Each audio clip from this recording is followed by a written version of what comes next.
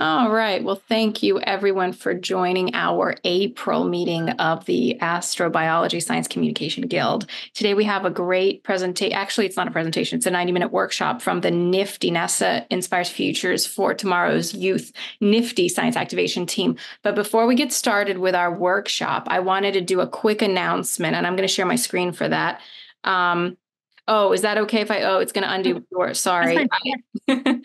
okay. I just wanted to plug a quick um, opportunity. It's a workshop from the Planetary Reach Science Activation Team. I hope you all can see my um, my screenshot here, my screen share here. Um, Planetary Reach is a group that that provides resources and opportunities for scientists engaging Black and Latinx audiences in planetary science, and they have an opportunity coming up. It is the Culturally Inclusive Planetary Engagement Workshop. They do these periodically throughout the year.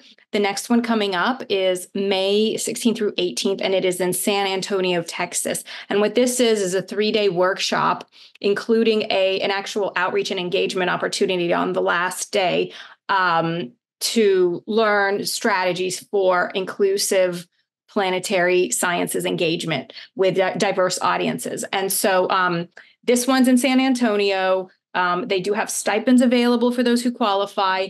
The application deadline is May 2nd. I've heard really great feedback from this um, from this uh, uh, opportunity, and I encourage you all to apply.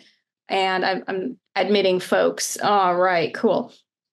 And so, um, if you have any questions, uh, p- please feel free to contact me, or the contact is Andy Shaner, and his contact information is right here. And what I'm going to do is I'm going to post this um, in the chat, so everybody has that. Um, I'm going to stop the share so I can see my chat. This is the website, and I have sent this out through um, Guild emails before, but in case you all are not aware, please uh, check out that opportunity. Thanks so much to those of you who joined us um, a little bit late. I was just um, plugging a really cool opportunity from the Science Activation team called Planetary Reach, uh, the culturally inclusive planetary engagement workshops. So uh, check out the link I posted in the chat if um, you did not get to hear the intro. Okay, that's all I've got. I am going to now uh, give it away to our speakers from Nifty. Um, Katie and Nikki, feel free to please introduce yourselves, give our group a, a little intro on who you are and um, how and why you do what you do for sure. the Nifty group. So thank you so much for being here and take it away. Yep, thank you so much. Um, Nikki and I are really excited to be here. We'll we'll introduce ourselves in just a second, and I'll say what Nifty is and um, what our role in science activation is. So, um, but first, let's start with a quick icebreaker. And so, um, during our time together today, you're going to have lots of opportunities where we would like you to participate. And so, we will ask you to share in the chat, and there will be times where you can unmute and talk to. So, right now in the chat, think about um, who was your STEM role model or who is your STEM role model and and what are things that that person did to inspire your career in STEM. So take a minute, think about how you were inspired.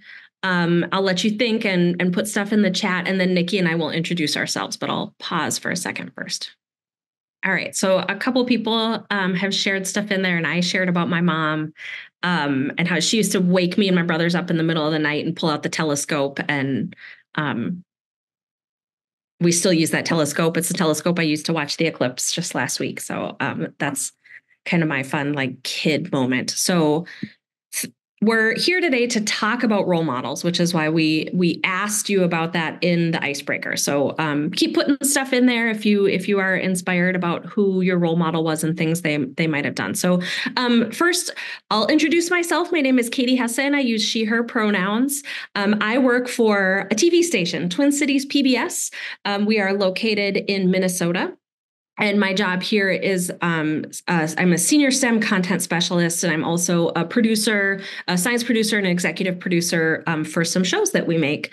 Um, uh, kind of the the key show that we've made over the last gosh 15 years is SciGirls, and um, Girls. You'll hear us kind of mentioning SciGirls. You'll see the logo um, on on the screen and that was a, a, pbs show there's seven seasons of it it's kind of aimed at like upper elementary middle school kids but our our main theme there is getting girls more interested in STEM and STEM careers. And so that's kind of where uh, we could talk for hours about SciGirls, but I, I won't bore you with that. But um, that's where Nikki and I come from. I'll let Nikki introduce herself. Oh gosh. We're a, a oh, are you muted? I'm muted.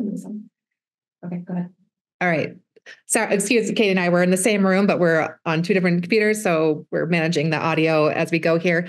Um, so my name is Nikki Beverly, uh, she, hers. I'm also at Twin Cities PBS um, and have been working with um, the education department here and the show SciGirls um, for over 12 years now.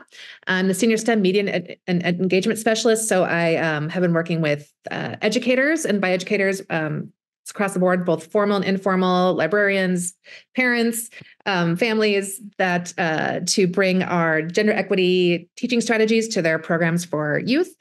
And then I also manage all of our like online resources, so our education and websites, most mostly the SciGirl side of things, um, and other digital assets that we have. all right, come on. All right. Okay.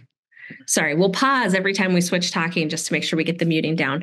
Um, so you're going to hear a lot more about me and my career path later on because I'm going to give kind of an example introduction. Um, so I won't really say anything more about um, my work right now. But so let's just kind of jump in um, to what we're going to do today and why are we here. So um, this is our NIFTY again. Um, NIFTY stands for um, NASA Inspires Futures for Tomorrow's Youth. We're funded by Science Activation. Um, so this is our kind of core role model training. And we're going to go through our strategies guide, which I hope you guys all have a copy of. If not, Nikki will share later how where you can get a PDF copy of that, but it is um, widely available on our NASA website. Um, so we're going to go over those strategies with time to kind of talk about them and work through them and for you to think up examples. And then Nikki's going to share some tips for working with youth. And then I, um, and for doing virtual visits. So if you are um, acting as a role model um, like this through the Zoom, like talking to a group of kids, what are some tips for how you can do that? And then I'm going to give an example virtual introduction of myself. And then we'll kind of all um, evaluate that and, and talk about um, what I did and didn't do. Questions about that? Don't want to spend too much time talking about this stuff. So, okay, so what is NIFTY? Um, NIFTY is a project that is funded by NASA Science Activation. It's been going on for about two years. It's just about over. We are in a no cost extension right now, so our project actually really um, wraps up at the end of the month.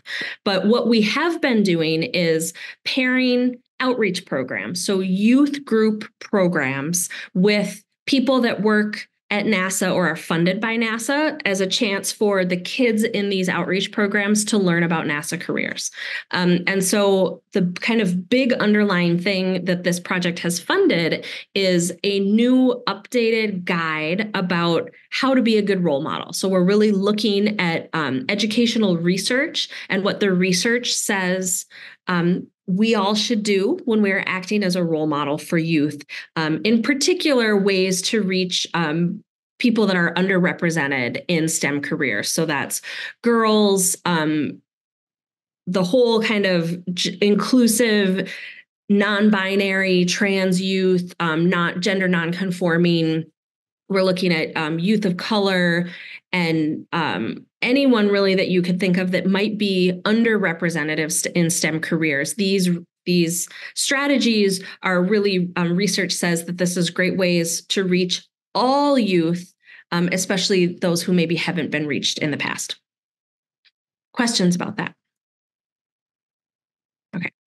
So I think we should start before I dig into what the strategies are. We should start by talking about some of the vocabulary that we're using. So I'm saying role model, but a lot of you might be more familiar with the term mentor. So let's let's talk about this. So role model is generally someone who is having a shorter interaction and the the person the um like the youth maybe doesn't even have to actually know who the role model like they might not have to know them on a personal level. So like someone said um, jane goodall right? Someone said that in the chat that jane goodall was their role model. Absolutely. It doesn't have to be a person. I mean maybe you did study under jane goodall. I don't know. But um, your role model doesn't have to be a person that you work with one-on-one all the time but you can still really be influenced by a person like this like a role model. And then contrasting that is a mentor and this is a longer interaction you know like maybe your graduate school advisor or or um, a, a long term youth group leader or something like that.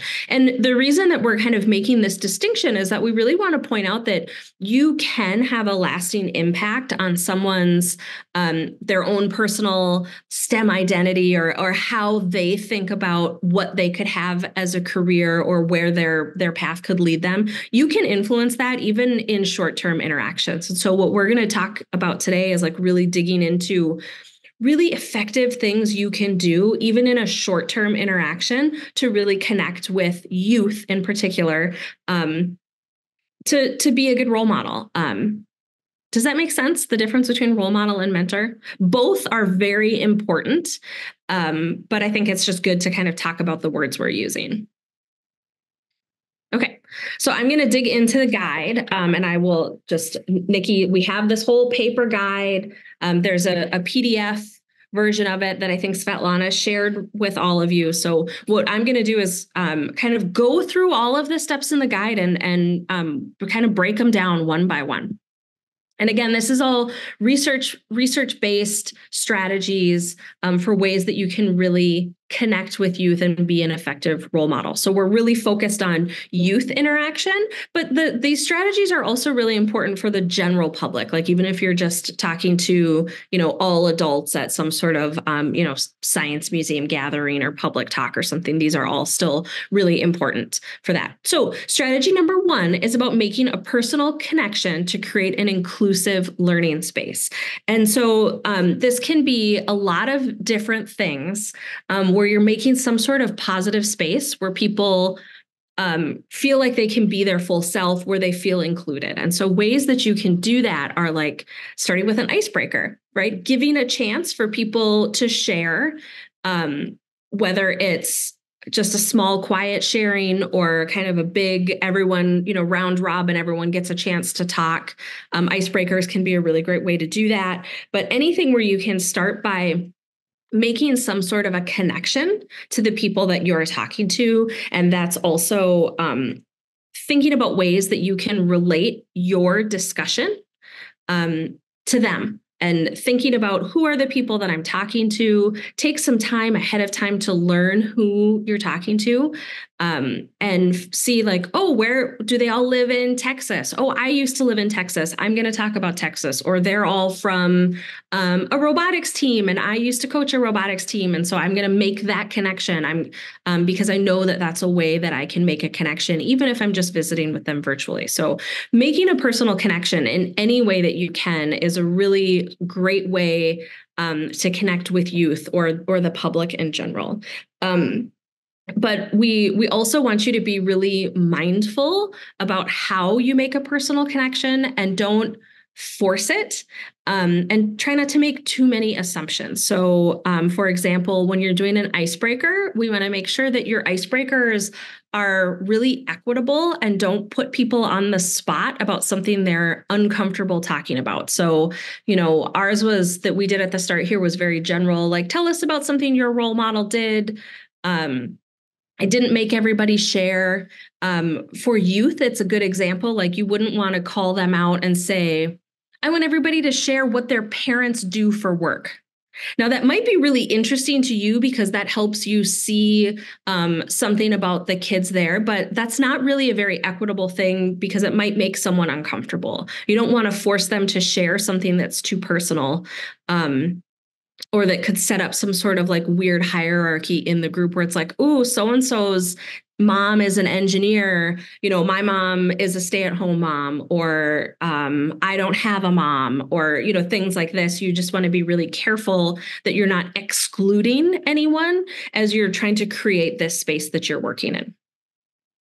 Does that make sense? That's a lot um, the the last sentence in here is about um, giving youth the ability to explore their the intersection in their identities. So intersectionality, I think I have a slide. I do. So intersectionality is this idea that we don't all fall into one group or category and we can be many things at once right like i am a mom and a woman and a scientist and and an educator i can be all of those things i don't have to just pick one and that our identities overlap in a lot of different ways so it's um, important to think about intersectionality and that everybody is kind of always wearing many hats um, whenever wherever they go in the world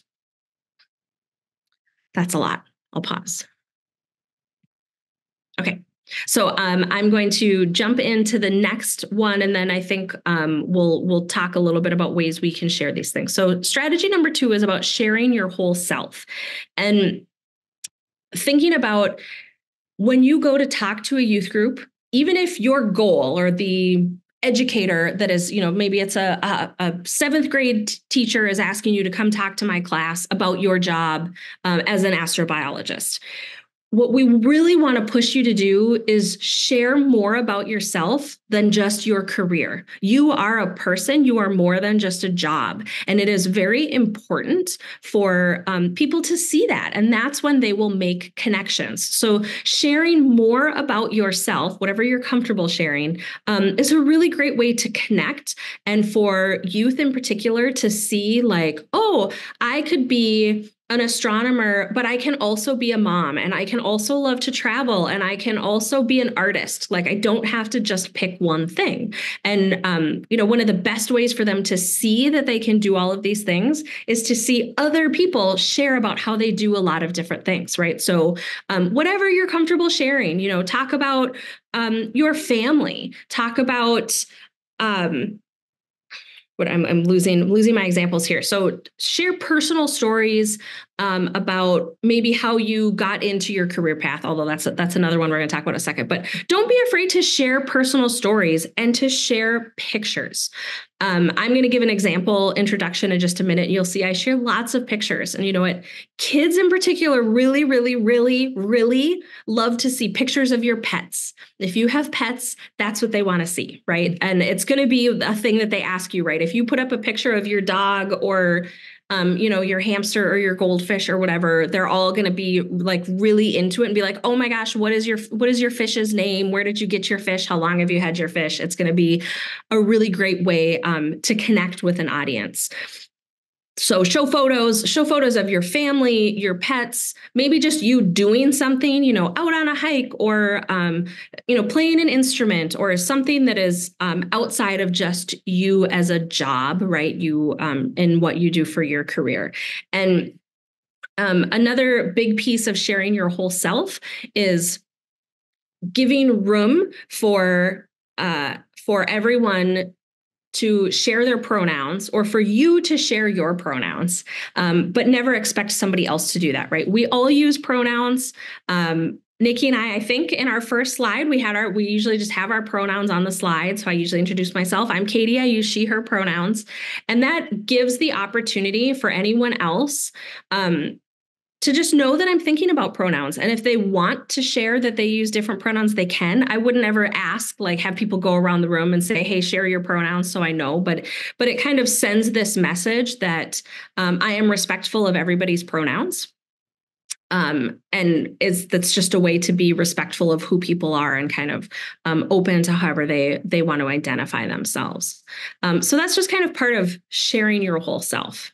Trying to not talk too fast here. So again the the point here of sharing your whole self is we really want the audience or whoever whoever you're talking to to see that you're more than just a career i'm a person who has a career let me talk about who i am as a person okay Oh, use of pronouns. Here's my examples of um, pronouns. So this is just another way to to create an inclusive environment where everybody feels comfortable. They all feel like they're welcome you should never call out other people and um, tell them to to use their or you know what are what's your pronouns what your pronouns what's your pronouns but just sharing starting by a conversation by sharing your own pronouns kind of opens that up um, where everybody else feels included Okay. All right. So now is a chance for reflection. Um, and you can type in the chat or you can unmute if you want. I see there's a ton of stuff in the chat. I'll look at it in a second. But what do you do when you're not at work?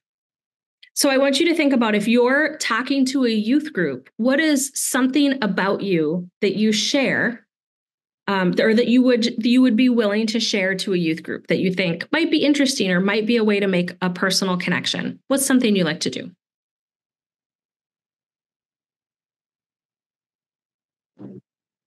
Can any of us just talk or? Yep, go ahead. um, so something I actually was just doing right now, we just brought them home today. I keep honeybees. And so I just put my beehives in today. I love that so much. Okay, so someone says they um, do salsa dancing. I like hiking, checking out cool geology. Yes. Um, playing with reptiles, hiking, seeing live music, Star Wars movies, basketball. Yeah, reading, spending time with my dog, of course.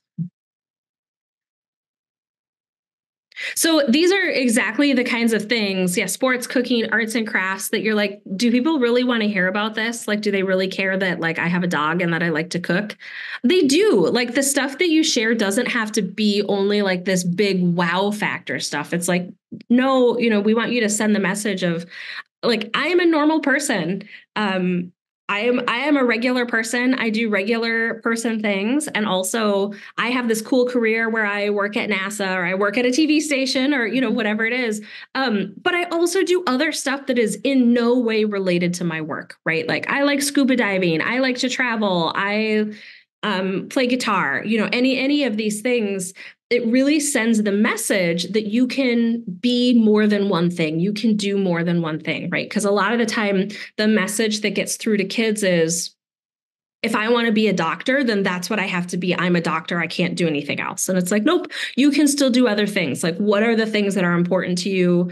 Um, you know, I'm a mom. I love to canoe. I spend a lot of time outside. I like to do um, arts and crafts stuff. I like to do all these things. I also am a TV producer, right? Like I do a lot of different things, and that all makes me a whole person. And honestly, it makes me better at my job because I do these other things. So um, don't be afraid to share these things, right? And show pictures of your kids, right? Someone is, oh, Svet's, Svet's sharing about her kids. So um, don't be afraid to share that stuff.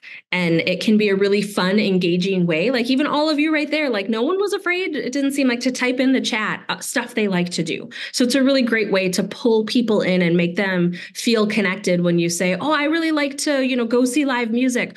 What kinds of music do all of you listen to? What's your favorite band? Who's your favorite, you know, what's your favorite new album and things like that? Like, um, try to think of ways too where you're like here's something i really like how do you all connect with that what what do you see in that okay um, so strategy number three is about sharing your STEM journey. And so this is, uh, we say journey because it really is a journey and everyone takes a different path and everyone's journey looks different. So um, it's, it's really powerful to talk about how you got where you are and to also think about how you are not at the end of your journey, right? You are somewhere in the middle of your STEM journey, even if you've been working in your field for a long time, right? Like thinking about what have I done in the past? What am I doing now? What could I do in the future, right? These are all journey pieces.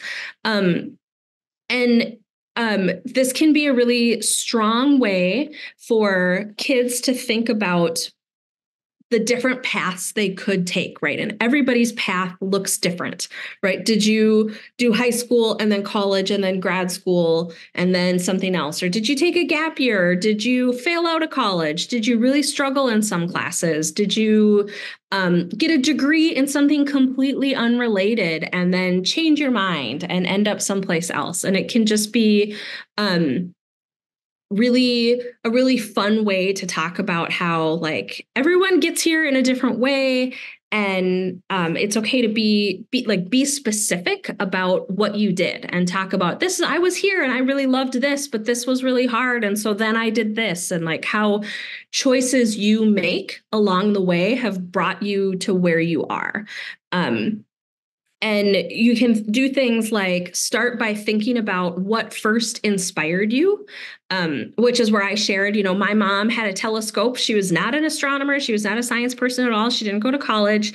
And, um, but she still was my inspiration for um, for choosing to go into uh, planetary science, which was um, what I was doing research on when I was in grad school. So that kind of thinking about what youth might have or what you might have been doing when you were the age of the youth that you're talking to um, can kind of be an interesting entryway also.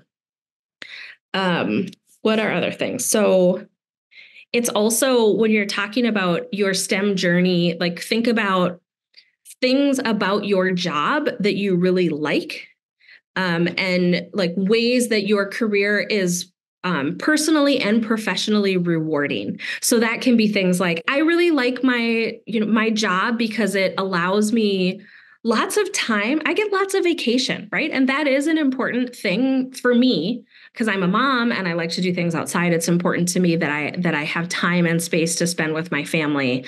Um, and I don't have to I don't have to choose between the two. So like that's an important thing for me in my job and it is part of my STEM journey, right?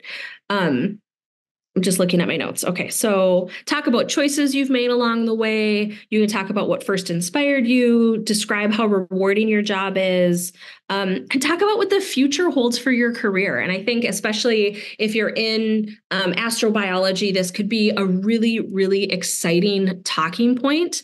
Um, you know, to not just talk about the thing that you're studying right now or what mission you're a part of or anything like that, but talk about like, you know, 10 years from now, 15 years from now, this is what I hope our field is doing, or this is this is what I hope we discover, or here's where I a direction I hope we take, or here's something really exciting that might happen.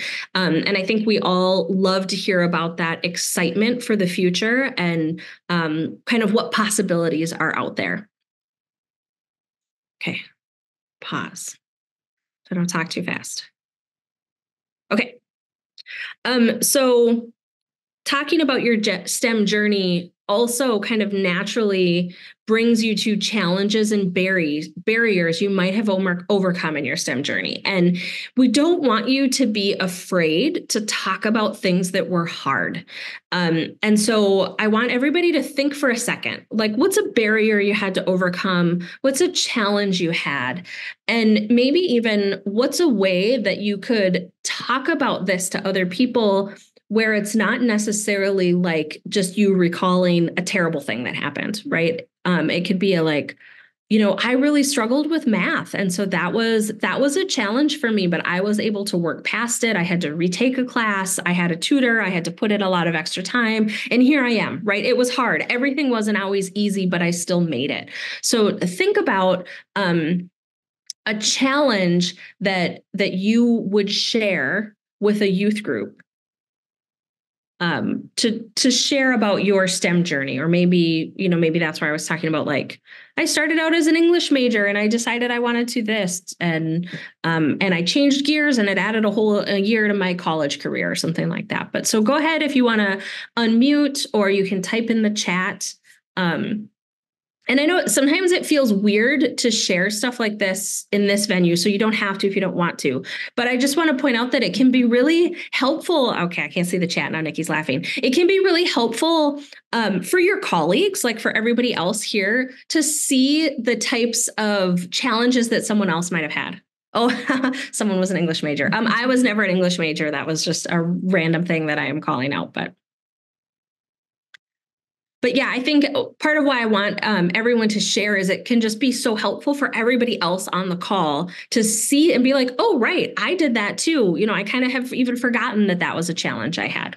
Yeah. Does anyone want to unmute and talk? You don't have to, but. I can do it um, so I can get the discussion going because I really want to hear from you all. But I will say that part of my journey was that, yes, I was one of those people who was bad in math as well as physics. And then I went into, I pivoted into science communication because I was not, I thought I was not good in science.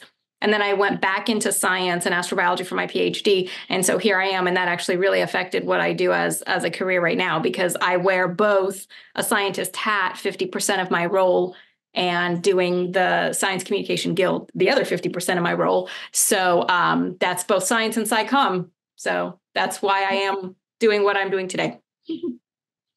I can I add to that too? Um, Sure, please. yeah, I would say that. So I um every journey pivots, you know, and so yeah, you go on a vacation and it rains, you know, or I hated calculus and all that stuff.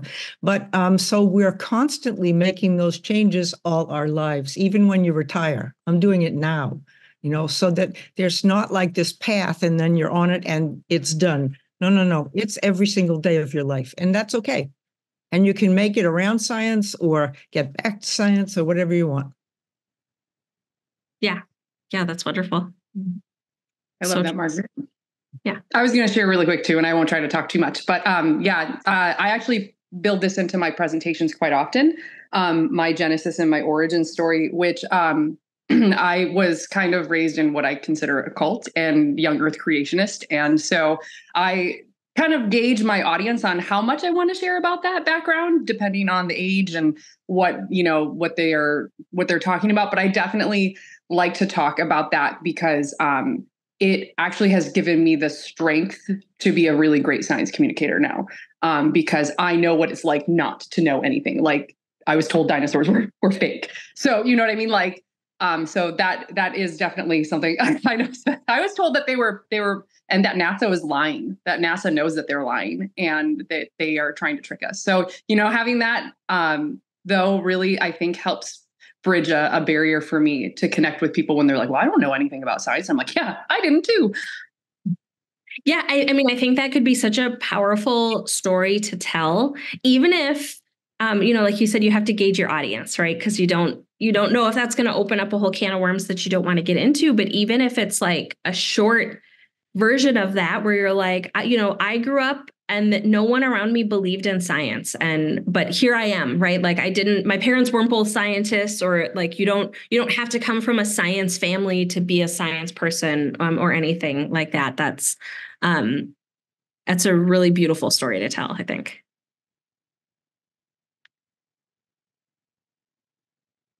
All right. Anyone else want to share? There's been comments and yeah. I had one that Sure. I I was trying to think of ones that could also be like inspiring rather than maybe discouraging.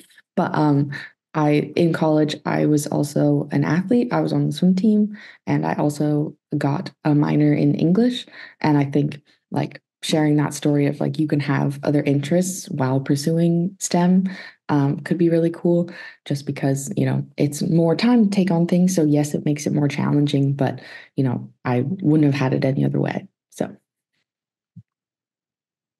Yeah, that's great. I love that. I'm just trying to look at some of the other comments. There's a lot of good stuff in here. Yeah, I think, you know, kind of the general um the general idea that we see in the research about this is that like some um, some people who are talking about their career, some role models might be really hesitant where they say, well, I don't want to say um, that it was really hard being the only girl getting a physics career because I don't want to, you know, discourage someone from doing that. But but it turns out it's actually kind of the opposite in that, you know, saying that you might encounter this hardship but it's okay and you can still do it and and you can work past it. And i worked past it or th- things like that like kind of giving that um, idea that like it's not always going to be easy and you're going to run into bumps and it's going to be hard and you know you might get upset and frustrated um, and but it's up to you and it's your journey and you get to make that decision um, can can just be really really powerful Oh, I like Savannah said our backgrounds give us unique insights and abilities. I that's yes, absolutely. Um yeah. Yeah. Sorry. Now I now I'm distracted because I'm reading all the comments, but we're but so I think I just want to really empower all of you to to not be afraid to talk about things um, that were hard um, especially if you can do it in an inspiring way, right? Like I, you know, I failed a math class, but I redid it and I'm like, I'm still here. It doesn't, everything isn't always easy because I think a lot of the time that's what you see, especially on TV, right? There's kind of this um, perception that people that that go into these big science careers or that work for NASA or things like that are kind of always a phenom in their field. And so showing people that like you don't have to be the best at everything all the time. Um, and you still you still have an amazing contribution to make um, to to to the world. Okay. Okay, so um, I'm going to share one um, one more strategy, and then I'm going to hand it over to Nikki. But before before I do that, I want to talk about another word. So um, we're going to talk about diversity, and I I just want to be very clear because I think sometimes we see the term diversity and we just think about race and ethnic race and ethnicity. And so I want us to all take a much broader approach to diversity and think about all of um, the different aspects that that kind of go into diversity. And so that's socioeconomic status cultural background lifestyle choices experience interests right? So diversity is this very very rich um, way of looking at how all of us connect and um, where we come from and that there are so many different um, things that tie into that, right? So I'm, i want you to just think beyond the color of someone's skin or someone's religion. Diversity um, can mean um, a much bigger set of things um, that that we're looking at. So I'm saying that before we jump into the next um, the next strategy, which is about showing the diversity of people that work in STEM. And this is so important, um, especially if we're trying to reach youth from diverse backgrounds, right? Um, from many cultures and um, many socioeconomic groups and many different lived experiences. And we want to just be be really obvious about showcasing the amazing variety of people that work in these fields. Um, and the re- the reason we want to do that is because we want everyone to feel and see that this could be something for them. Okay. And if all they see is um, white men or white women, they might not feel like this is a place for them. And you can do this, you can showcase diversity in a lot of different ways. Um, if you know how you are talking about yourself and your pathway um, and what you do outside of work can be one way to kind of jump into this diversity piece but you can also talk about the people you work with um, so the the photo that's up here uh, i'm not in this one because i wasn't filming when we were at that episode but um, this is the crew of our show SciGirls and they're working with some girls they're at um, Johnson Space Center in Houston, and let's see, there's Ellen Ochoa is um, was one of the people that was on camera there, and um, it's an amazing kind of diverse group of people that that worked on that episode. Um, the girls there were all speaking um, only in Spanish in that episode, and so the producers were Spanish speaking, and I'm just looking. The camera guy spoke a little bit of Spanish. Um, but but that's just one piece of the diversity, right? Is is the language that they were all comfortable speaking. Um, so that's one way you can do it is by talking about the the people that you work with and how having a diverse group of people on your team brings so many different strengths to the work that you do. You know, and, and showing the power of diversity on any team, um, and that that can be really important. Nikki's taking over control. Okay. So um, that's one way to showcase diversity, but there's a caution here that I have for you. And that's that, especially if you're um, showing pictures make sure that you're only showing pictures that you are allowed to be showing, right? Like um, we have photo releases of all these people, so I know that we are allowed to share this photo. Um, but we want to make sure that you're not tokenizing anybody or just kind of calling out like, hey, we had this guy on the set because he spoke Spanish. Like that's not the only reason that Marco was the producer and director for this episode, right?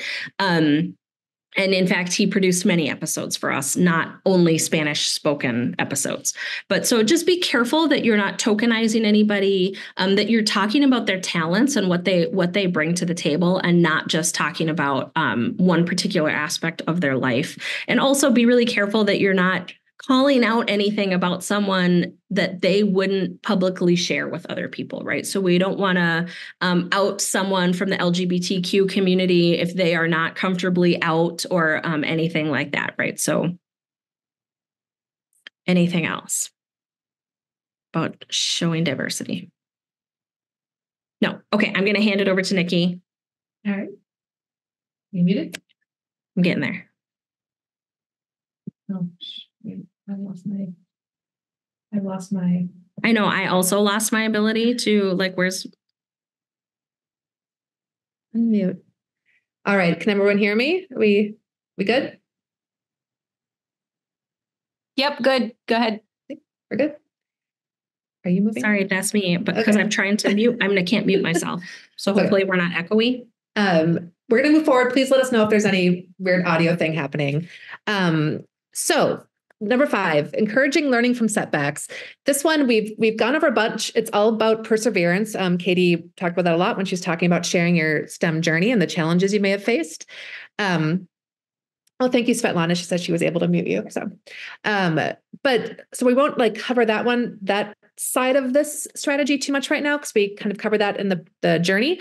But think about it from the perspective of when you're actually working with the youth, if you're doing activities with them, if you're like trying out experiments, um, and how you're going to approach communicating with them to encourage learning from setbacks. So, um, some things to think about is like to step away from saying, good answer or um, you're so smart you're really quick at getting that and think about it more along of the asking them to look at it through a lens of how they got to where they are. So how, what is their journey to get to that answer? So things like how did you get to that answer? How did you decide what to do next?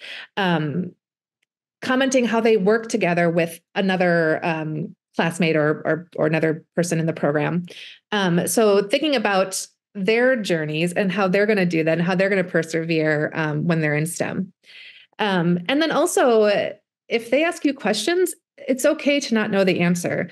Um, and to show that it's okay to not know the answer. Um, so saying you don't know and like let's look that up together. Let's figure out how we can find that answer together is um, another way to really encourage them to learn.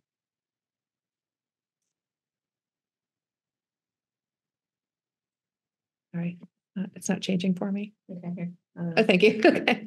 Um, so, strategy number six communicate how your work impacts people, your community, and the world.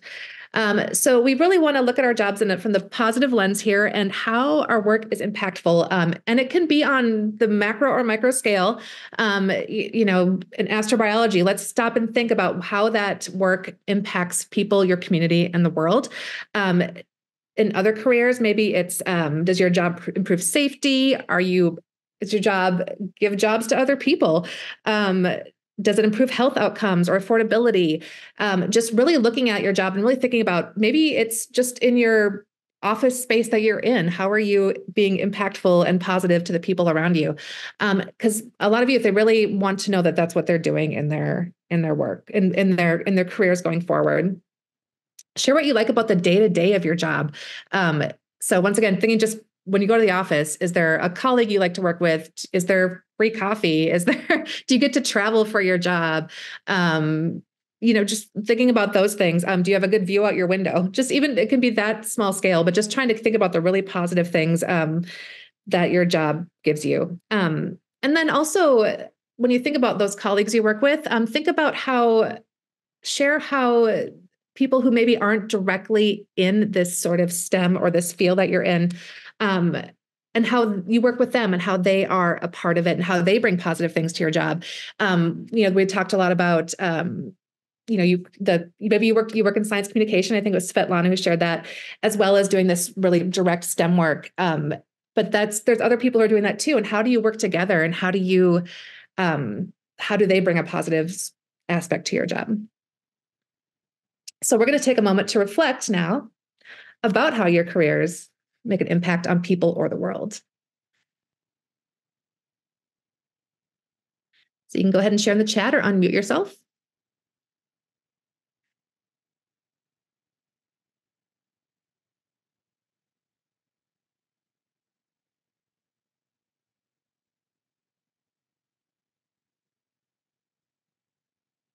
Anyone have any, anyone want to jump in and I don't want to be the only one talking.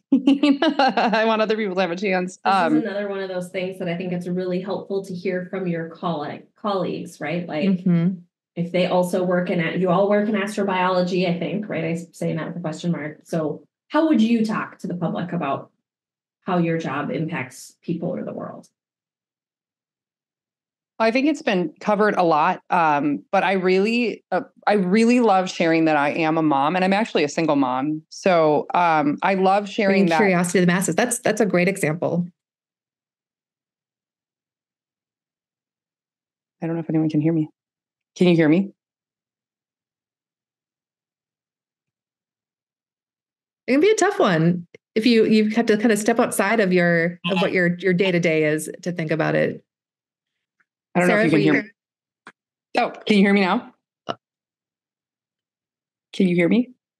Yes, yes, we can hear you. Oh, okay. I could. I was talking Sarah, earlier. I, was like, I don't want to be the only one unmuting and talking. I don't know if I have to. There you turn That's my mic. Sorry, I look like a hot mess because I was putting the bees in. So anyway, um, it came up earlier, but one of the things I really do like to also share too is that I am also a mom and a single mom.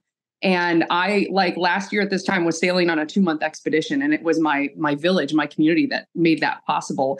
And so um, I love to share that not just with youth, but you know, I'm always thinking about the parents that those kids are going to go back home to and um, say like, "Oh, I met this this woman, and you know, she's got kids, and she did, you know, she sailed on the ship." And then it gets into that mom's ear, you know, in her head too, like, "Wow, she was able to pull that off." You know, like to me, that's just like maybe a sneaky way of kind of like inspiring women too. But that's kind of one of my like ulterior motives.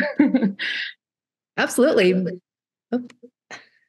Sorry, we're managing that audio. Uh, yeah, just you're you're out there being a role model as a really impactful to people in the world. Um, Natalia on the same path. Um, Natalia does science outreach in a very marginalized area of Mexico City, which historically has not received much attention. And in her work, she manages to provide a bit of fun, knowledge, entertainment to these people. It's great.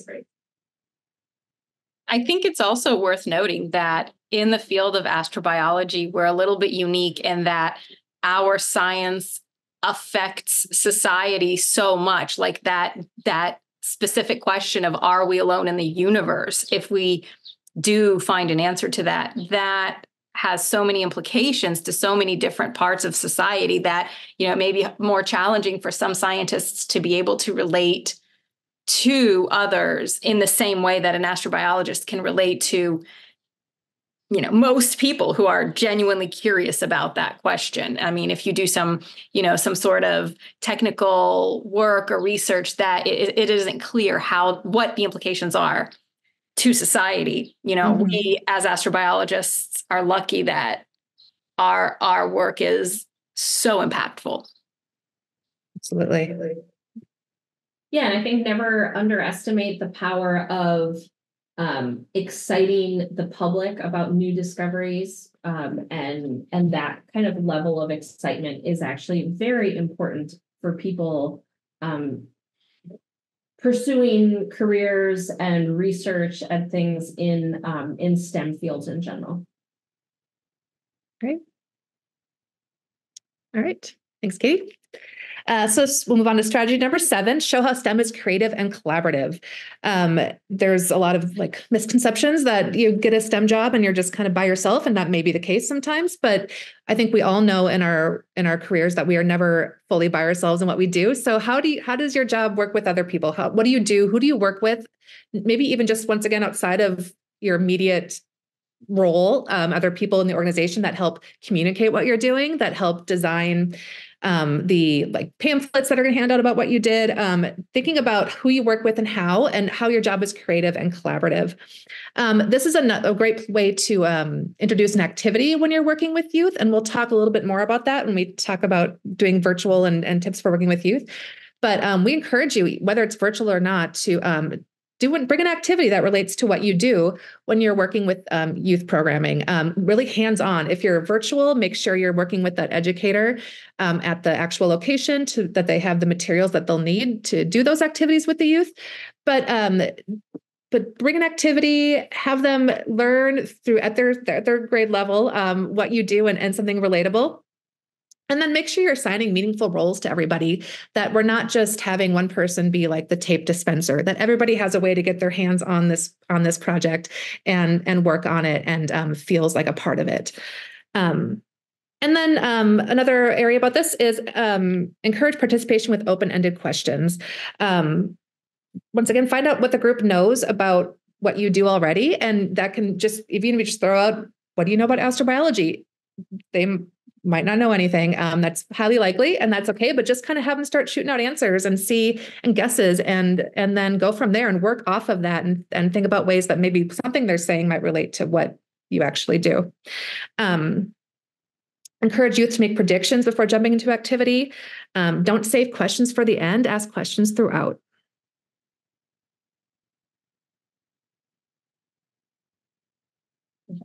Saving time for comments.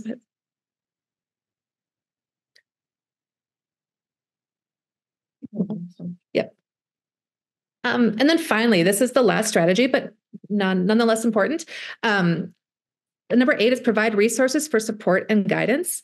Um, this is where you'll really want to work with the educator that is hosting the program. So, the outreach program lead, whoever that may be that you're in communication with, um, about areas of opportunity in their communities um, for the youth. So, um, talk to them about who they can talk to in their schools if they're interested in um, going into any one of these careers. Um, explain why their classes matter.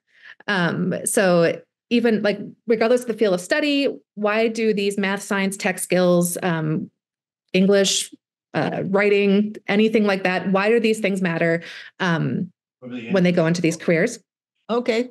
And then talk to the edu- the the program lead, the educator that you're working with about maybe there's after school programs or community ed programs that they can join, um, and that that you may not know about because you're not there, but um, can find out from them and give them those opportunities. Talk to them about non like non um, university career tracks that they could go on that are STEM related as well. Um, you know, we always need electricians and and um, mechanics and and things like that that are also very important STEM careers.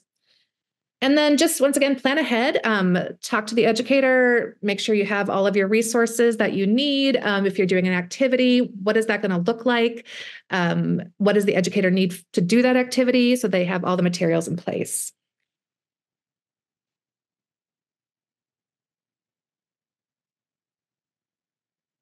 So before we move on, those were the eight strategies. Do we have any comments, questions?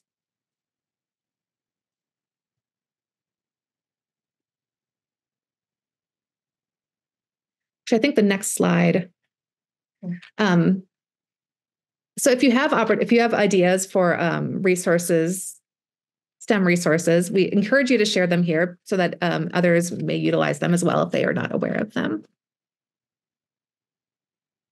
Sorry. Also, if you have any questions or comments on the strategies, you can take a moment to answer those. Um, yeah, there's a question in the chat. Uh, do you have any strategy specifically to do all of this in areas with high crime rates, drugs, and stuff like that? Hmm, I'm trying to think about that.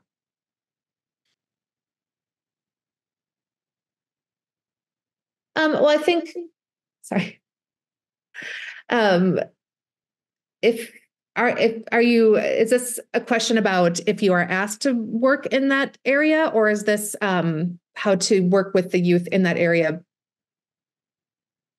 Yeah, like specific how to get both. Okay, so like how to connect.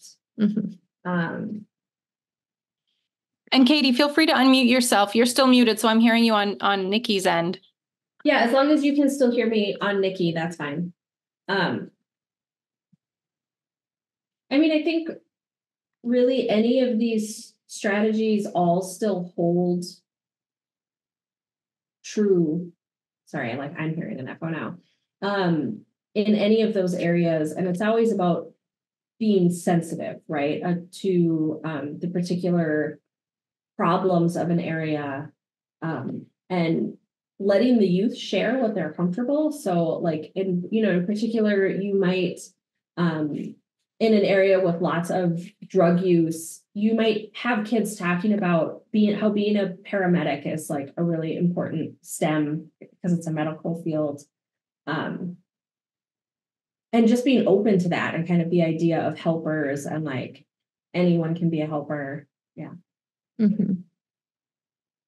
Uh, Margaret says, yes, focus on all the team members we need. Yeah. Mhm. Yeah, that one is the one that that I have um, used a lot because there's a sense when you're teaching in a university type um, environment, you focus on that, you know, the real career paths, which are, you know, STEM. But you know, none of us. Uh, what would it take? So I play it as a role. What would it take to do firefighting in space? What would it take, you know, to have the food prepared? You want to eat, you know, trail mix for the next two years when you're going to Mars. So take it and make a funny thing out of it. Um, but recognize that those people are very talented in different ways. And they use science. I mean, the firefighters are using science and technology all the time. Mhm. You know, and so I, I even asked them to think about how you put that in a term paper. You know, laminar flow of water versus non-laminar. Or I mean, you can do think about all the places, temperatures. Um, anyway, the Yeah, water think- system in fire hydrants. You know. And I, I, I would, I would say a lot of those um, uh, programs in areas like that really could use um, someone, people like you all, to come in and just and talk to them about these the possibilities that are out there. And if that, I mean, you might have to push a little harder, find to, just to get in, or just to find the pathway in. But I mean, I would, as I would bet that they would love to hear from all of you if you were volunteering your time in that way um, because they don't have the funding really to typically to have these sorts of possibilities come into their programs or their schools. Yeah, and I was, think uh, also um, regardless of who your audience is, it's always important to um, not only focus on like PhD level Mhm. accomplishments Mhm. and be respectful that that is not everybody's desire right like even if that's where you are and then your job you're surrounded by um you know very academic people with with like high terminal degrees that that is not everybody's desire. Um and that's okay and it doesn't mean they're settling right? We all have different goals in our life and and for a lot of people it's like they just can't they don't want to and can't spend that much time in school right? They they need to have a fulfilling career faster. And that is a valid um, path for someone. And i i'm stressing that because i think it really is so important right to just be really respectful of everybody having a different goal as far as what their career is right? Like they might not want to have a PhD. They they maybe want to, uh, you know, what what can I do while I'm in high school where I'm getting a technical degree in high school so that at 18 I can have a job where I can help support my mom, you know, and or or um you know whatever that that looks like or i need to get out of i need to get away from where i live right now like what can i do now so that i can do that quickly um so just think about all the different career paths that people might have. Sorry, I don't want to take over. No, that's okay. Thank you, no, that's a really that's a really great question, and um, thank you for for sharing that. Yeah, I was I gonna. think um, we can move on to the next slide. So pull time. Um, think about your your your work and think about going out to um, talk to youth um, in these programs and look at these strategies. Is there any in particular that jump out at you that you think will you'll have an ease of using in programs? And are there any that you might struggle with if you find you might struggle with sharing?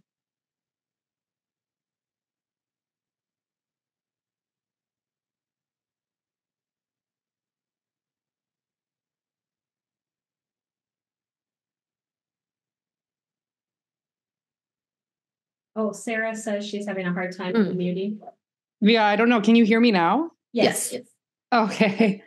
um, well, I, I was just trying to time in in the last slide of of talking to the under like you know underserved communities and and those kind of communities because that is a ton of my work right now is um, going to Title One schools and doing planetarium shows, and it's extremely um, impactful because like one school I went to, the teachers told me that going to Target on the weekend is like a vacation for these kids. Like that's, you know, as cool as it gets. So um, I just was trying to share the fact that like whatever you can bring, generally like supplemental material is usually kind of shocking to them. Um, I, I find these kids are just completely blown away. Anyway, that was the only point I wanted to um, to make. Uh, it's just that like most of the schools, and and I think I saw somebody say Indigenous students too. There are so many um, restrictions on schools to be able to take kids to field trips, to go to places, to go to see things. So what you can bring to them is extremely impactful, and you just have to like be conscious of the fact that like it's going to be mind blowing for them and um and you're to have to deal with maybe some behaviors but if you go in with that understanding it's like the most rewarding thing mm-hmm. yeah i grew up in a very small town um, went to a very small town schools um, and had really no like insight into I wouldn't have never have been told about astrobiology. Like that would not have that was not a career path that was shown to me back in that school. Um, so yeah, I mean, just it's as you're saying, Sarah, that just just being there and showing that these things exist is is a huge deal. And I also um, commented about she uses strategies three to five um, and provides links. Yeah. Yeah. Mm-hmm. Yeah. Well, we only have yeah. 27 minutes left. So I really want Katie to um so what we're going to do now.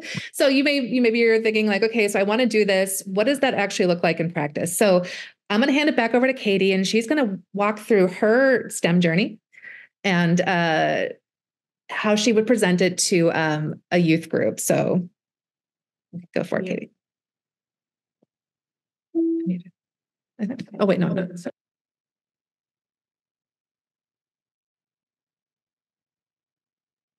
Oh, Katie, you're muted.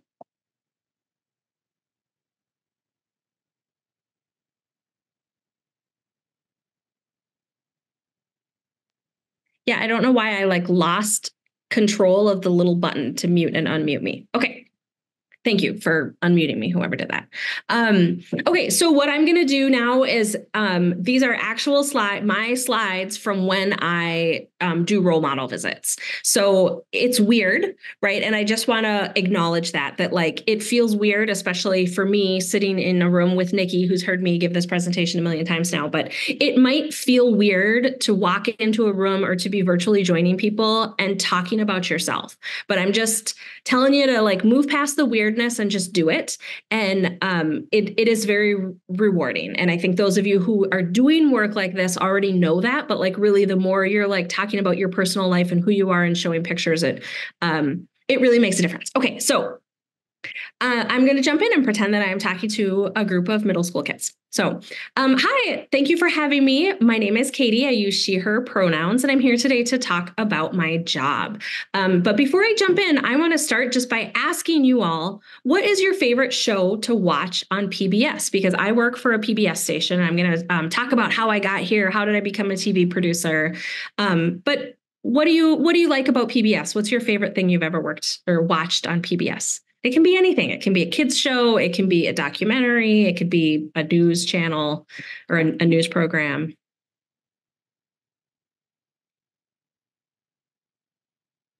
Go ahead, type in the chat. What is your favorite thing on PBS? Interact with me. Okay.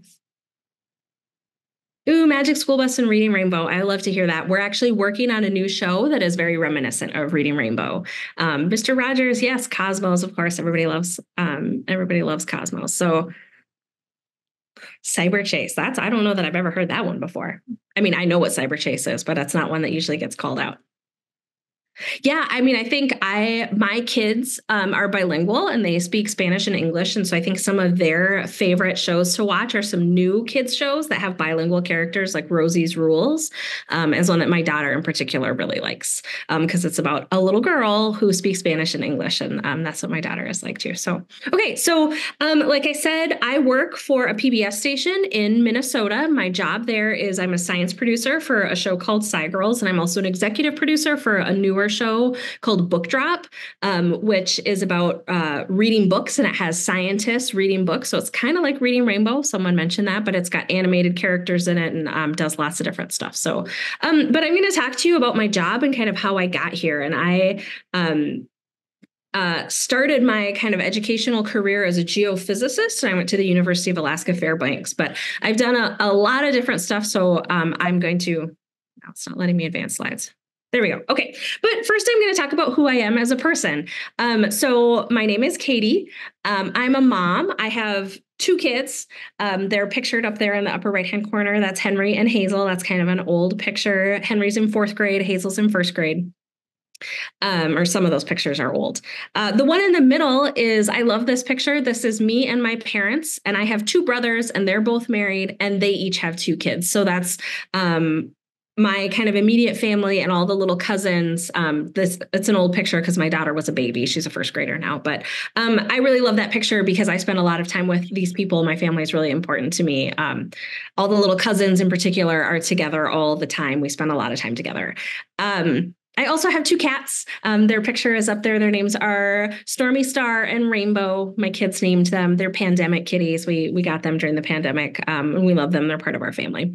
Um, so, some of the things that I really like to do in my spare time, like in particular, I have a cabin. My family has a cabin in northern Wisconsin. Um, I live in Minnesota, so our cabin's in Wisconsin. It's like three hours away, and it's on a river, and we spend tons of time canoeing. So, that's one of the pictures on the bottom there is me and my sister in law and um, one of my kids and two of her kids, and then um, our niece, uh, my other brother's kids. So we we spend a lot of time with the kids in canoes, and they're all actually very proficient in kayaks and canoes now. Um, my six year old in particular, she uh, she is amazing in a kayak, and she she puts the rest of us to shame. I think when she's kayaking upriver, um, she's amazing. So so this is me um, my family um, one of the things that I really love about my job now is I have a lot of time off and I'm able to take big chunks of time away and go um, go up to the cabin, go up to the cabin, um, spend time with the cousins and and things like that. Okay. But I'm, I'm here um, to talk about my job. So I am a TV producer. You never see me in front of the camera. I'm always behind the camera, so behind the scenes.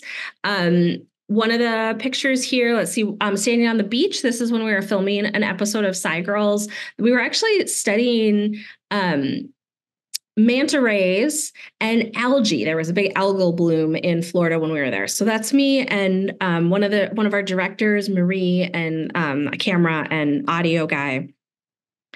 And the other episode or the other picture there is um, kind of a recent a recent episode we did of SciGirls um, that we filmed in North Carolina. I think.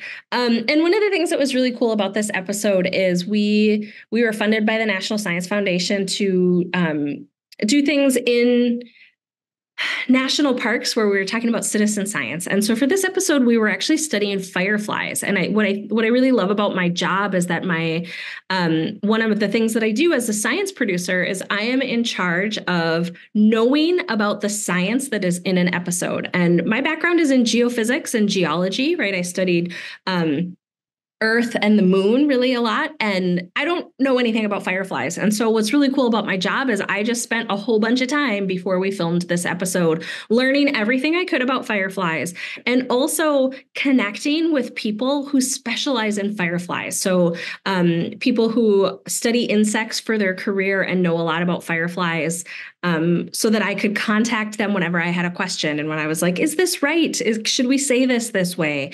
And um, I really like that, that I'm constantly learning about new things. But my job as a science producer really is just to kind of know about what we're talking about and to know if the people talking about it on camera are saying it in an age appropriate way. Um, and so it's really fun. I'm just I just get to learn about lots of different science, and then when we're filming, I'm just kind of sitting there quietly with headphones on, usually listening to everything everyone is saying, um, and and I really like it. And I get to work with a really amazing group of people that all bring all these different skills and perspectives to the table when they're um, when we're filming. And so, like the the picture with the whole group of people up on standing on a porch um, before we went to go view fireflies, we were working with a park ranger whose first language is Spanish, and she um, did a lot of speaking in Spanish while we were on set there. And so we made sure that we had team members with us that also spoke Spanish. I only speak a little bit of Spanish, not enough to carry on a conversation about fireflies. Um, but our director for that episode, Marker Marco, who's um, kind of in the back, has like a white goatee. Um, he speaks fluent Spanish, and so he um, it was really fun. Um, kind of getting getting to watch him play that role with with the park ranger that we were working with. Okay. So it's kind of a weird job. Like, how do you end up being a TV producer? I do not have a background in film. I didn't go to school thinking that I wanted to work in film or TV. Um, so I actually I went to college at the University of Houston, and um, I while I was there, I was working at Johnson Space Center and um, the Lunar and Planetary Institute, and was doing started doing research on impact craters um, under a, a, professor that worked there, and um, that was really cool and kind of opened up a lot of doors for me to see that I could choose a field of study um, that really like interested me. As a kid i had always grown up um, loving nature and the outdoors and that's kind of what brought me into geology. But my mom was always really interested in um, space and the stars and she had a telescope and used to bring us out at night and we would look at the moon through the telescope. And so it was really cool that when i was in in college i kind of got to ch- like take that interest and um, really dig in and do do a lot of research with a NASA scientist on impact craters on the moon was really what I was studying. And then um, I went to graduate school at the University of Alaska. So I moved to Alaska and I um, studied impact craters on the moon and Mars there and um, got to do a lot of really cool stuff while I was there. Uh, my thesis was on impact crater experiments that I did at the University of Tokyo. So I actually spent a bunch of time in Japan um, while I was in grad school, and that was really cool. And I also, there's a picture of me here um, in a pink snowsuit um, because I was living in Alaska. And, and one of the kind of random Alaska things that I did was learn how to be an ice sculptor and became a competitive ice sculptor um, and did that for years while I was living in Alaska. And so that was kind of a fun thing that I was like, just the complete opposite of all of my scholarly work while I was in grad school. You know, I was researching and giving talks and like doing all this stuff. And then I would, you know, go outside with power tools and be um, carving in ice. So it was kind of fun um, just to get to do something different. So when I graduated or when I was finishing up graduate school, I kind of switched gears and decided, you know, I had been spending a lot of time in grad school volunteering at local schools and doing outreach events through the university. And one of my professors pulled me aside and said, you know, you seem to really like this this education piece. Did you know that you can you can do that? Like this is a thing you can do for a job and that just had never occurred to me. Um, and so i took a job at a museum and i worked at a museum in alaska for years. Um, doing all different kinds of science outreach and science education stuff with kids. So there I am in the top, um, looking at live animals from a touch tank of like marine tide pool animals. Um, and I also used to fly to to rural villages and bring. I actually brought animals with me and reptiles. Someone else mentioned something about reptiles, but I used to fly usually with a baby alligator and a snake and a turtle, and I would go to all these tiny villages in Arctic Alaska um, where there are no reptiles and so we were kind of teaching them about reptiles in a place where they had never seen a turtle or a snake or anything that. was really cool.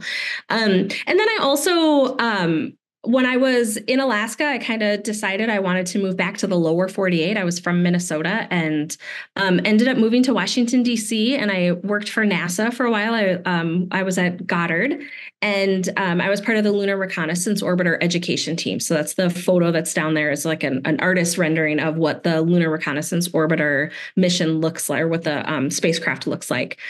Um, that counts my time. Got to wrap it up. Okay. So, um, so I did that for two years and it was amazing. My job there was traveling around the country, talking to science teachers about the moon and kind of giving them all kinds of updated information about the moon and how to do um, really fun, engaging activities with youth about the moon. Um, and I was also working with the scientists and helping them kind of write public facing uh, materials. But then I also taught physics at a university. I worked at a kids engineering museum. Um, and from there is where I kind of took all of these different things I had done, right? Like as a research scientist and as like a traveling science person um, in Alaska, and then working at NASA. And um, when I was at NASA, I was writing scripts and things for um, NASA videos that were coming out of the, um, the scientific visualization studio. And that's kind of all of that came together to my current job where I'm writing curriculum and I'm helping um, train educators and I'm working on a show and writing scripts. So my job now is really like this culmination of all of the different skills that I've learned in in all of my education and all of my different jobs. And um, I think it's really exciting what I get to do now because I think it's so important to make sure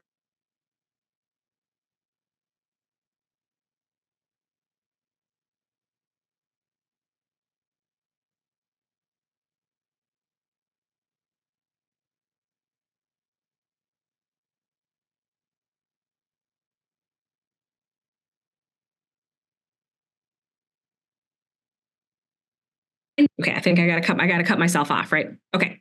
So um, this is a part of how I would normally start um, an introduction to working with a youth group. So I think I'll just stop there. What? It said you froze, but could you hear her? Just Can you guys still hear me? yes. Okay. Okay. Um, so I'm going to stop there so that we have enough time to keep talking. But that's just kind of the general gist of my my intro. It was probably not the cleanest intro I've ever given, but um, I'm going to hand it over to Nikki now. Okay. All right. Oh, I can mute myself. Nope. So turn your volume up on your computer. Okay. Okay. All right. I think- we got that figured out. Okay. So thank you, Katie, for sharing. Um, so let's take a moment. Let's revisit these strategies again. And what strategies did you see in Katie's introduction? Or her whole her presentation as a whole?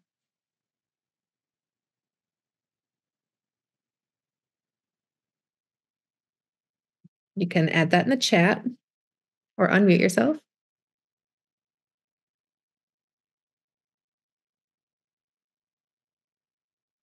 Are there any of these that you heard her reference or saw her reference? Uh, Celia says number four, share your STEM journey. Mm-hmm. Yeah, she talked about um, her mom inspired her. Um, making a personal connection, beginning with a question. Mm-hmm. Tying the your work now to your to PBS shows as that you that you currently like that helps them get an idea of where she works. Mhm. Are there any strategies that maybe you didn't hear her say that you think she could add?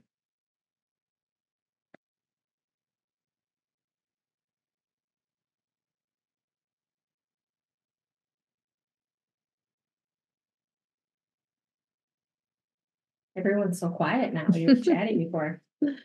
That's, we're over an hour into it. That's. Yeah.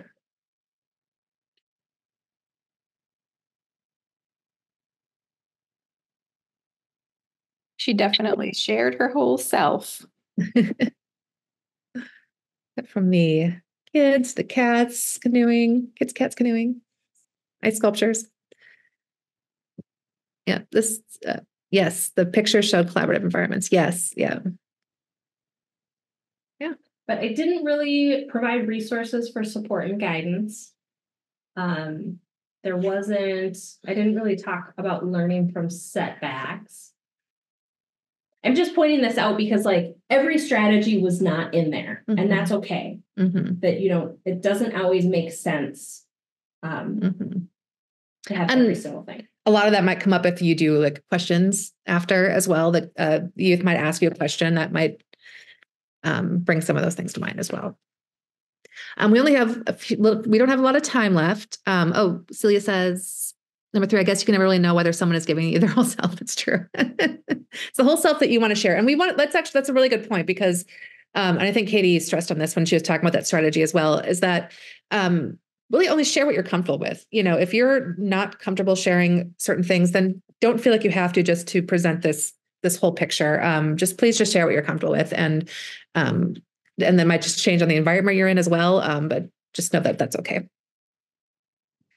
All right, let's move forward. Um, so this is all about working with youth. It's all about presenting your career to and your journey um, to youth. So what are some ways to do that? Go to the next slide. Um, so we've we've touched on all these already, so I'll just kind of highlight them again. But um, asking those open-ended questions, um, what do you notice about an activity? You're doing an activity with them. What does it remind you of? Give uh, what what do you know about this career? Just um, thinking about those open-ended questions and really let them do a lot of the talking in some cases. Um, don't be afraid to say I don't know. Um, we touched on that. Um, help them look things up together. Starting with an icebreaker, you'll notice we did that at the beginning of this presentation, and Katie did it again during her um, presentation of her presentation. um, so uh, think of those icebreakers. If you need icebreaker ideas, uh, we've got them in this guide, I believe, and um, that can help you find those icebreaker ideas. Um, and always think about the um, the audience when you're thinking about icebreakers. Um, as katie also mentioned earlier um, not getting too personal really kind of think broad maybe just a what's your favorite animal? is a good one. Um, just like that kind of broad general sort of icebreaker question nothing that's going to really dive into their personal lives too much and then also remember youth are people. Treat them with respect and dignity. I mean that's that's obvious but um, just a reminder that i mean i know i i even in my job that touches on um, youth programming i don't have a lot of day-to-day interactions with youth. I mostly work with the educators um, that are working with the youth. So um, i know i can get a little kind of nervous and i'm also the youngest of um, 10 so i can get very like i don't i didn't have a lot of kid interaction growing up beyond just my friends so um, really thinking uh, like i can get a little anxious or nervous when i work with kids so um, I had to remind myself that just just they're people. We just talked, we talk to kids, we talk to them like we talk to everyone else. Um, so a lot of you, if you're going to do these visits, might be virtual, and like we're doing here today. So um, just things to keep in mind when you're doing virtual visits is to keep it interactive. It still can be very interactive. Doing those activities, working with the the program lead of of where the youth are um, to make sure that you're all set up the same. Um, you can embed poll questions in these on Teams or Zoom. Have all sorts of features now that are fun. Um, annotating tools on your slides can can be fun to do. Um, don't forget to test your tech. Um, making sure that maybe doing a pre meeting with the um, program lead to make sure that all your audio is on and you can see each other. And keep in mind too that when you're working with these um, the youth, that you want to be able to see them. That's just as important as them seeing you. So make sure you, that the camera that's on the youth that you can see them all. You can so you can see a hand raised. You can see if they're paying attention or not. Because um, you know they're kids, they might start to drift, and then you might have to like kind of recalibrate and think about how you want to approach things. Um, but just keep in mind that you want to see them too, and you want to be able to hear them too, and and so that you can have that real interaction one. So this is the guide. Um, the link, uh, I believe Svetlana put it in the chat earlier. Um, it's on the screen now. This is it. And I have my blurred background on, so you can't see it very well.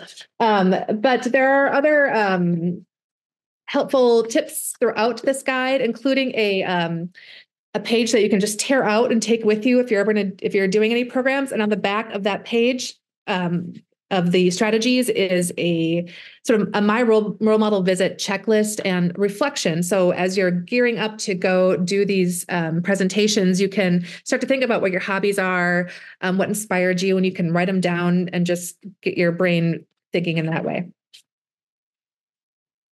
And I'm rushing now because there's only five minutes left and I want to have time for questions. Um, so the floor is open. If you would like to ask Katie any questions or have any comments about what we talked about today.